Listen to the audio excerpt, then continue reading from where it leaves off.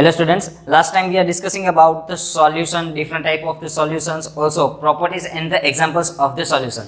But now we are discussing about the concentration of the solution. But let us now define about the solutions. When two or more kind of matter in its pure state mixed with each other in uniformly and they form the solution. That type of solution is known as homogeneous mixtures. Homogeneous mixtures is it is known as uniformly mixed with each other and we cannot separate them by the certain border line. Also, at that time we are discussing that solution is made up by solute and solvent. So, at that time we are shown that solute always in minimum quantity or less in quantity also solvent always in maximum quantity so solute is dissolved in solvent. Means that solute is dissolved in solvent? तो वहाँ पे हमने देखा था कि ये solute है, ये इजीली सॉल्वेंट में डिजोल्व हो जाता है। एंड सॉल्वेंट है, ये जो कोई भी स्टेट शो कर रहा है, उसका स्टेट ही सॉल्यूशन का स्टेट होगा बिकॉज़ यहाँ पे ये सॉल्वेंट है, ये मैक्सिमम क्वांटिटी में है। हमने ये भी देखा था कि हमारे माइंड में अभी तक सॉल्यूशन का मीनिंग ये था कि ये लिक्विड स्टेट में ही है। बट सॉल्यूशन ऐसा नहीं है कि ये सिर्फ़ only and only liquid state में है। ये सॉलिड स्टेट में भी हो सकता है ऑल्सो गैसेस स्टेट में भी हो सकता है। इसके बारे में हमने लास्ट लेक्चर में बात की थी, उसके different kind of the examples भी हमने देखे थे। But here concentration of the solute तो फ़र्स्ट ऑफ़ ऑल एक क्वेश्चन अराइज होता है that what is the meaning of concentration concentration का मीनिंग है how much solute is dissolve in solvent that is known as concentration यानी कि कितने percent और कितने मास में सॉल्यूट है, ये सॉल्वेंट में डिजोल्व हो रहा है। उसको हम क्या बोलते हैं? उसकी कॉन्सेंट्रेशन इसके बारे में हम बात करें तो हम एक एग्ज़ाम्पल नॉर्मल लेते हैं रूटीन लाइफ का। डेट मेरे पास तीन बीकर्स है, ये तीनों बीकर्स के अंदर मैंने 50 एम ऑफ़ वाटर को फिलअप किया है। एंड उसमें से फ़र्स्ट बीकर है, उसमें मैं वन लेमन है, उसका जूस बनाता हूँ। सेकेंड में टू लेमन्स का एंड थर्ड वन में थ्री लेमन्स का। अब आप ये सोच सकते हो कि फ़र्स्ट वन है, उसके कंपेयर में थर्ड वन है, उसका टेस्ट बहुत ही शोर आएगा। शोर यानी कि खट्टा टेस्ट आएगा। तो ये बहुत ही शोर टेस्ट आता है बिकॉज़ कि वहाँ पे जो सॉल्यूट था लेमन था, उसका प्रपोर्शन बहुत ही ज़्यादा था। तो उसका प्रपोर्शन ज़्यादा था, उसी वजह से हमें क्या मिलता है कि उसका टेस्ट शोर मिलता है। बट इफ़ हम बात करेंगे फॉर द फ़र्स्ट बीकर तो उसमें टेस्ट बिल्कुल ही खट्टा जो है, ये खट्टा बहुत ही कम लग रहा है। ये उसकी क्वांटिटी मिनिमम है, उसी वजह से उसका टेस्ट सोर है, ये बहुत ही कम मिल रहा है। तो मेन थिंग दैट कि वहाँ पे लेमन है, ये डिपेंड करता है उसके टेस्ट के लिए। तो उसे हम क्या बोलते हैं? कॉन्सेंट्रेशन तो कॉन्सेंट्रेशन का मीनिंग क्या होता है? कि how much solute is dissolve in solvent कितने सॉल्यूट के पार्टिकल्स है जिसको हमने सॉल्वेंट में डिजोल्व किया है? उसे हम क्या कहते हैं? तो कॉन्सेंट्रेशन बोलते हैं। Concentration of the solution is made up by three different kind of the solution concentration of solution is made up by three different kind of the solutions उसमें से first one saturated solution by concentration हम ये बोल सकते हैं कि उसका जो एक सॉल्यूशन फॉर्म होता है, ये सॉल्यूशन कौन सा होता है? सेचुरेटेड सॉल्यूशन होता है। Second one unsaturated solution.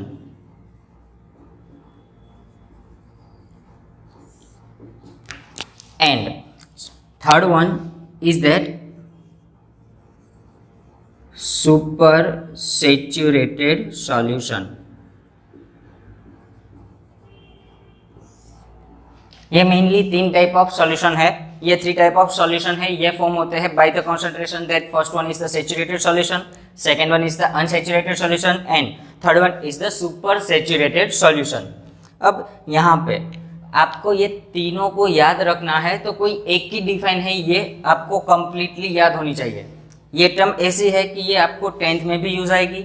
Also in eleventh and twelfth ये सभी स्टैंडर्ड्स में it means in your higher classes all the classes में ये तीनों की तीनों टर्म है, ये बहुत ही यूजफुल होती है। अब mainly for the saturated solution अब सेचुरेटेड के बारे में बात करेंगे तो उसके में हम लिख सकते हैं that when no more solute is dissolved in solvent that type of solution is known as saturated solution it means that when no more solute is dissolved in solvent that type of solution is known as saturated solution suppose मेरे पास एक test tube है और उस test tube के अंदर मैंने water को फिलअप किया है एंड ये वाटर 10 एम है। अब आप ये सोच सकते हो कि 10 एम ऑफ़ वाटर है, यानी कि वाटर तो सॉल्वेंट है मैक्सिमम प्रपोर्शन में है। अब मैं one spoon of table salt यानी कि NaCl है, इसके अंदर डिजोल्व करता हूँ। तो वन स्पून है, ये इजीली डिजोल्व हो जाएगी। बट मैं जब भी सेकेंड स्पून डालूँगा तो तो ये डीजल होती है, उसका कॉन्सेंट्रेशन ही ये ज़्यादा करता है। अब मैं थर्ड स्पून एनएससीएल है, उसकी वाटर के थ्रू डिजोल्व करता हूँ। यानी कि टेस्ट ट्यूब में जो 10 एम ऑफ़ वाटर है, उसमें मैंने third spoon of N dissolve की। तो आप ये सोच सकते हो कि फ़र्स्ट टू स्पून थी ये इजीली डिजोल्व हो जाती है बट जो थर्ड वन थी, ये उसके अंदर डिजोल्व नहीं होती है। तो ये डिजोल्व उसके अंदर नहीं होती है, उसका सिंपल मीनिंग ये है कि वहाँ पे जो कोई भी सॉल्वेंट है, उसमें बहुत ज़्यादा सॉल्यूट हो गया है एंड ये बहुत ही ज़्यादा सॉल्यूट है, ये डिजोल्व नहीं हो सकता है। तो that type of solution is known as saturated solution तो when no more solute is dissolve in solvent is known as saturated solution अब उसके बाद बात करेंगे अनसेचुरेटेड तो यहाँ पे जो थर्ड स्पून मैंने एन की डाली थी, उसके पार्टिकल्स इन टेस्ट ट्यूब आपको दिखाई देंगे। तो जब भी कोई सॉल्यूशन में उसके पार्टिकल दिखाई देते हैं तो उस तरह के पार्टिकल्स और उस तरह के सॉल्यूशन को हम क्या बोलते हैं? अनसेचुरेटेड सॉल्यूशन उसकी डिफाइन देनी है तो when a solute particle is seen by the naked eyes that type of solution is known as unsaturated solution unsaturated solution है, उसको क्या बोलते हैं? तो अनसेचुरेटेड सॉल्यूशन का मीनिंग होता है that when solute particles is seen by our naked eyes, that type of solution is known as unsaturated solution. अब आपने बहुत बार अपने घर पे भी देखा होगा कि जब भी आपके पास ये ऐसे पार्टिकल्स दिखाई दे रहे हैं मीन्स दैट हमने बोला था कि ये अनसेचुरेटेड सॉल्यूशन है। बट उस तरह के सॉल्यूशन को it means that unsaturated solution को मैं, जो टेम्परेचर रूम टेम्परेचर है, उससे ज़्यादा, यानी कि कितना ज़्यादा फाइव डिग्री सेल्सियस है उतना टेम्परेचर दे रहा हूँ। तो उतना टेम्परेचर देते हैं तो ये क्या शो करता है? तो इतना टेम्परेचर देंगे तो ये few particles of the N is dissolve in water तो यहाँ पे जो फ्यू पार्टिकल्स जो ये ब्लैक कलर के हमें दिखाई दे रहे हैं तो ये फ्यू पार्टिकल्स है। ये few particles at this temperature dissolve हो जाता है। इट मीन्स दैट मैंने जो सॉल्यूशन था, उसको फाइव डिग्री हॉट किया, यानी कि उसको मैंने वार्म किया है। तो ये वार्म सॉल्यूशन है, उसमें जो कोई भी पार्टिकल्स डिजोल्व हो जाते हैं। और जो कोई भी सॉल्यूशन फॉर्म करते हैं तो ये बाय टेम्परेचर वेरिएशन मेरा जो कोई भी सॉल्यूशन फॉर्म होता है that type of solution is known as super saturated solution तो मेरे पास सुपर सेचुरेटेड है इट मीन्स दैट मैंने वहाँ पे सॉल्यूशन है, उसको वार्म किया है एंड जो वार्म किया हुआ सॉल्यूशन था, वो सॉल्यूशन के अंदर मेरे पास जो पार्टिकल्स थे, ये डिजोल्व हो जाते हैं, जो अनसेचुरेटेड फॉर्म में थे and that type of particles is made the different solution that super saturated solution तो ये मेनली थ्री पोर्शंस है। ये saturated solution unsaturated and super saturated तो वहाँ से उसकी कॉन्सेंट्रेशन है, ये हमें पता चल सकती है। सपोज़ आपको कोई बोलता है कि मेरे पास सेचुरेटेड सॉल्यूशन ऑफ़ एन है तो आप वहाँ पे सोच सकते हो सेचुरेटेड है इट मीन्स दैट वाटर के प्रोपोर्शन में जितनी भी सॉलिबिलिटीज फॉर्म होती थी, जितना भी ये पार्टिकल सॉल्युबल हो सकता था उतना मैक्सिमम प्रोपोर्शन में ये सॉल्यूट है, ये डिजोल्व हो गया है। उसके बाद हम उसके अंदर कोई भी सॉलिड पार्टिकल डालेंगे तो ये डिजोल्व नहीं होगा। तो ये हमें इजीली आइडिया आ सकता है from the concentration of the solution अब मेन थिंग दैट हमारे यहाँ पे ये टाइप्स ऑफ़ सॉल्यूशन पता चल गया, उसकी कॉन्सेंट्रेशन क्या है, ये पता चल गई। बट ये कितने प्रपोर्शन में है, उसके लिए हम different kind of the concentration का यूज़ करते हैं। And mainly in different kind of the concentration में। बहुत सारी कॉन्सेंट्रेशन है, उसमें से फ़र्स्ट हम बात करेंगे molarity after that, molality after that, normality after that, formality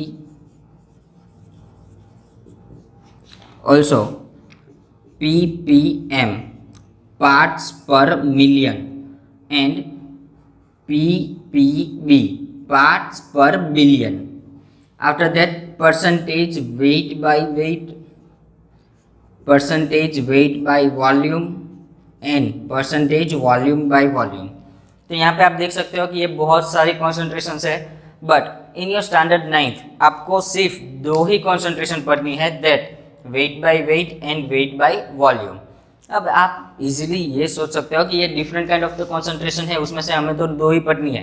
तो इन सभी का काम क्या है? तो ये सभी कॉन्सेंट्रेशन के टाइप है ये आपके हायर क्लासेस में। It means that in your standard eleventh and twelfth ये सभी कॉन्सेंट्रेशन आपको पढ़नी आएगी। अब पढ़ने में आएगी तो ये कॉन्सेंट्रेशन है तो तब वहाँ पे आपको पता चलना चाहिए कि ये कॉन्सेंट्रेशन है। It means that how much solid particles dissolve हुए हैं, उसके बारे में ये सभी कॉन्सेंट्रेशन से ये बात करते हैं। अब मेन थिंग कि आपके पास totally two type of the concentration है, उसको पढ़नी है तो उसके बारे में बात करेंगे तो two ways to determine the concentration अब डिटरमाइन करेंगे कॉन्सेंट्रेशन को, ये हमारे पास दो वे है। First way that percentage mass by mass, यानी कि हम ये बोल सकते हैं percentage weight by weight mass है तो उसके हम, उसे हम वेट में कंसिडर करते हैं, उसी वजह से हम उसको लिख सकते हैं percentage weight by weight also it's known as percentage mass by mass अब इसका कैलकुलेशन करना है तो इसकी फॉर्मूला क्या होती है? तो उसकी फॉर्मूला होती है mass of solute upon mass of solution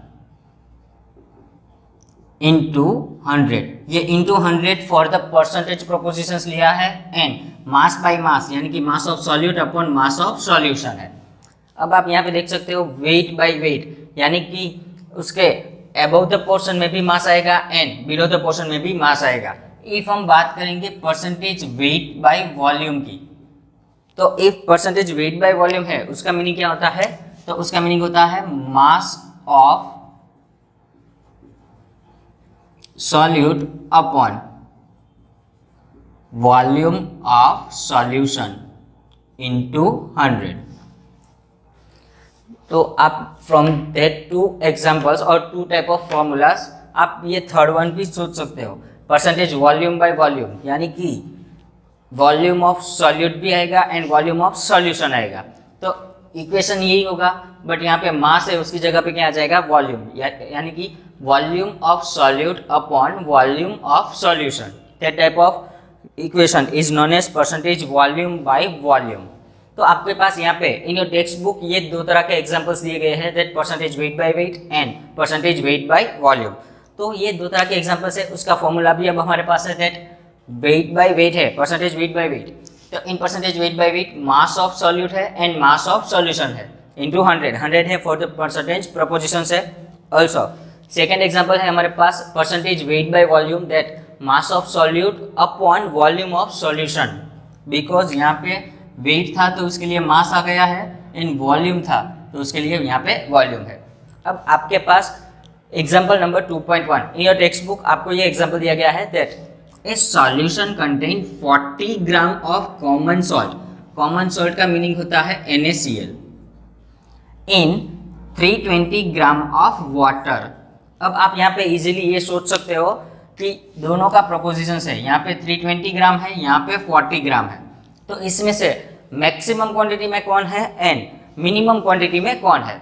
तो आप यहाँ पे देख सकते हो कि मैक्सिमम क्वांटिटी में जो होगा, ये उसका सॉल्वेंट शो करेगा एंड जो मिनिमम क्वांटिटी में है, ये उसका सॉल्यूट शो करेगा। तो आप यहाँ पे इजीली बोल सकते हो दैट ये कॉमन सॉल्ट है। ये कॉमन सॉल्ट क्या शो करेगा? तो ये सॉल्यूट है एंड 320 ग्राम मैक्सिमम प्रोपोर्शन में वाटर है तो ये क्या है? उसका सॉल्वेंट है। अब आपके पास कैलकुलेशन करना है। Calculate the concentration in terms of mass by mass percentage of the solution percentage mass by mass यानी कि परसेंटेज वेट बाई वेट है, उसके बारे में हम बात करेंगे तो उसका सॉल्यूशन कैसे होगा? Mass of solute upon mass of solution तो आपके पास मास ऑफ़ सॉल्यूट तो अवेलेबल है 40 ग्राम है. बट मास ऑफ़ सॉल्यूशन ये आपके पास नहीं है, ये आपके पास ओनली सॉल्वेंट है. तो फ़र्स्ट ऑफ़ ऑल हम क्या फाइंड करेंगे? मास ऑफ़ सॉल्यूशन है, उसको फाइंड करेंगे. तो यहाँ पे for the answer mass of solution is equal to क्या आएगा? Mass of solute plus mass of solvent because हम यहाँ पे देख सकते हैं कि सॉल्यूशन है। ये कब फॉर्म होता है? तो ये solute particles and the solvent particles ये दोनों कंबाइन होते हैं, उसके बाद ही क्या फॉर्म होता है? उसका सॉल्यूशन फॉर्म होता है। तो हमें मास ऑफ़ सॉल्यूशन फाइंड करना है। तो उसके लिए हमें सॉल्यूट का मास एंड सॉल्वेंट का मास ये दोनों को क्या करना पड़ेगा? ऐड करना पड़ेगा। अब, यहाँ पे आपके पास सॉल्यूट है, उसका मास अवेलेबल है दैट 40 ग्राम एंड सॉल्वेंट है, उसका मास भी प्रेजेंट है। ये कितना है? 320 ग्राम टोटली ये 360 ग्राम ऑफ़ सॉल्यूशन फॉर्म होते हैं। इट मीन्स यहाँ पे हमें ये मिल गया है कि मास ऑफ़ सॉल्यूशन है, ये 360 ग्राम है। अब हम इसकी वैल्यू है डायरेक्टली उसको, उसके इक्वेशन के अंदर पुट कर सकते हैं। That percentage weight by weight और परसेंटेज मास बाय मास क्या था उसका solution that mass of solute upon mass of solution into hundred अब मास ऑफ़ सॉल्यूट आपको पता है, ये कितना है? 40 ग्राम है। ऑल्सो मास ऑफ़ सॉल्यूशन है, ये कितना है? ये 360 ग्राम है। इंटू हंड्रेड तो हम यहाँ से ज़ीरो ज़ीरो इजिली कट कर सकता है। And from the simplification of this term we get the 11.1 percentage तो ये हमें प्रपोजिशंस मिला है। ये परसेंटेज मास बाय मास है। यानी कि हम ये बोल सकते हैं कि यहाँ पे जो ये कॉमन सॉल्ट है, ये common salt 11.1 percent weight by weight के फॉर्मुलेशन और कॉन्सेंट्रेशन से क्या हुआ है? डिजॉल्व हुआ है। अब यहाँ पे आपके पास mass of solution and mass of solute था। तो उसके वजह से हमने परसेंटेज मास बाय मास है, ये फॉर्मूला फॉर्म किया है। इफ़ मैं यहाँ पे इसी एग्ज़ाम्पल में थोड़ा सा टर्म है, उसको चेंज करता हूँ। यहाँ पे हम देखते हैं कि solution contain 40 gram of N ये एज इट इज़ है। बट यहाँ पे 320 ग्राम ऑफ़ वाटर है। ये वाटर के प्रोपोर्शन को मैं ग्राम में से लीटर के थ्रू लिख देता हूँ। लीटर यानी कि उसका वॉल्यूम शो कर रहा है। अब क्या करेंगे? तो ये लीटर का सॉल्यूशन है, ये लीटर का सॉल्यूशन है, ये आपको मास ऑफ़ सॉल्यूशन तो नहीं शो करता। है तो अब आप कैसे सॉल्व करेंगे? फ्रॉम दिस इक्वेशन तो इस इक्वेशन में हमने क्या बोला था? Mass of solute upon volume of solution तो मास ऑफ़ सॉल्यूशन आपके पास प्रेजेंट है, ये 40 है। बट वॉल्यूम ऑफ़ सोल्यूशन के लिए ये 360 ही होगा, या फिर उसमें कोई चेंजेस आएगा। तो आपने जो फ़र्स्ट चैप्टर में पढ़ा था, वो भी इन योर फ़र्स्ट थियरी तो ये आपने फ़र्स्ट थियरी में पढ़ा था कि यहाँ पे आपने देखा था कि एन है, उसके particles in between the space of the water molecule dissolve होते हैं। यानी कि मेरे पास सपोज़ ये बीकर है, ये बीकर में मेरे पास वाटर है। अब उसके अंदर मैंने 40 ग्राम ऑफ़ एनएससीएल डाला है। तो उसका जो कोई भी मार्क था, जो मैंने फ़र्स्ट ऑफ़ ऑल 320 लीटर्स के थ्रू डिजोल्व किया था तो ये मार्क है। उसका लेवल इतना ही रहता है, उससे ज़्यादा नहीं होता है। बिकॉज़ यहाँ पे एनएससीएल के पार्टिकल्स है। ये एन के पार्टिकल्स क्या करते हैं? तो ये एन के पार्टिकल्स इजिली डिजोल्व होते हैं in between the space of the water molecule it means that आपका जो वॉल्यूम है जो आपने यहाँ पे लिखना है तो ये वॉल्यूम ऑफ़ सॉल्यूशन है, ये 320 ही रहेगा, उसमें कोई भी चेंजेस नहीं आएँगे। यानी कि मास ऑफ़ सॉल्यूट तो 40 है बट वॉल्यूम ऑफ़ सॉल्यूशन है ये, यहाँ पे 360 था, उसकी जगह पे कितना आएगा? 320 और उसका सिंप्लीफिकेशन करोगे तो उसका परसेंटेज भी आपको मिल सकता है। और एल्स आप ये अपने घर पे भी different kind of the propositions को लेके ये सॉल्व कर सकते हो। आपको ये प्रैक्टिस करनी है at least three two four times यानी कि यहाँ पे मैंने 40 लिया है, उसके बजाय मैं अब यहाँ पे 80 ग्राम लेता हूँ, ये 320 है, उसकी जगह मैं 160 लेता हूँ। तो ये different kind of the constant values को चेंज करने से हमें different kind of the examples and different kind of the percentage propositions हमें मिल सकते हैं। अब ये यहाँ पे हमने टोटली बात कर दी है अब कॉन्सेंट्रेशन ऑफ़ द सॉल्यूशन की। तो उसके बारे में हमने क्या पढ़ा था? दैट कॉन्सेंट्रेशन ऑफ़ सॉल्यूशन है। ये कॉन्सेंट्रेशन ऑफ़ सॉल्यूशन में आपके पास तीन type of different kind of the solutions available है that saturated unsaturated and super saturated also different kind of the concentration present होती है, उसमें से हमें दो ही पढ़नी थी that percentage weight by weight and percentage weight by volume अब उसके बाद हमने ये एग्ज़ाम्पल है, ये भी कैलकुलेट किया है. मेन थिंग दैट हमारे पास ये different kind of the examples है, ये आपको, जो हमें सेकेंड चैप्टर हमने जब भी स्टार्ट किया था, वहाँ पे हमने दो तरह की एक्टिविटीज़ को देखा था. फ़र्स्ट एक्टिविटी में हमने homogeneous mixtures and the heterogeneous mixtures के बारे में बात की थी। And for the second one और सेकेंड एक्टिविटी के अंदर, यानी कि एक्टिविटी इन 2.2 हमने ये बात की थी कि हमारे पास फोर टाइप ऑफ़ ग्रुप्स है। जो फ़र्स्ट ग्रुप है ये क्रिस्टल ऑफ़ के M N of over N S और एल्स कोई भी, कोई पार्टिकल है, उसको डिजोल्व करेंगे, और एल्स सी यू फोर को। अब हमारे पास ये एक्टिविटी में हमें पता था कि ये हमने कोई वन स्पून है, ये डिजोल्व किया है। दूसरे में हमने फ्यू टाइप ऑफ़ अमाउंट यानी कि स्पेचुलस की वैल्यूज़ को हमने बढ़ा दिया था एंड उसको डिजोल्व किया था। तो ये different kind of the solid particles थे, उसको हमने डिजोल्व किया था इन एक्टिविटी 2.2 तो ये different kind of the particles को हमने डिजोल्व किया था। उसका मीनिंग है कि वहाँ पे हमने जो कॉन्सेंट्रेशन यूज़ की थी, ये concentration different kind of the concentration का यूज़ हमने वहाँ पे किया था। तो ये concentration different kind of the concentration available है। तो ये कॉन्सेंट्रेशंस के बारे में यहाँ पे आपको ये डिटेल्ड एक्सप्लेनेशन दिया गया है दैट कॉन्सेंट्रेशन का मीनिंग होता है how much solute is dissolve in solvent तो सॉल्यूट है, जो कितना डिजोल्व होता है, उसे हम क्या बोलते हैं? कॉन्सेंट्रेशन ये हमने एक्टिविटी 2.2 में भी देखा हुआ है। तो आज हम ये पढ़े हैं। तो उसके बारे में एक बार बाय टेक्स्ट बुक आपको ये रीड भी करना है and three two four times different kind of the questions को लेके आपको उसके सॉल्व भी करना है। Thank you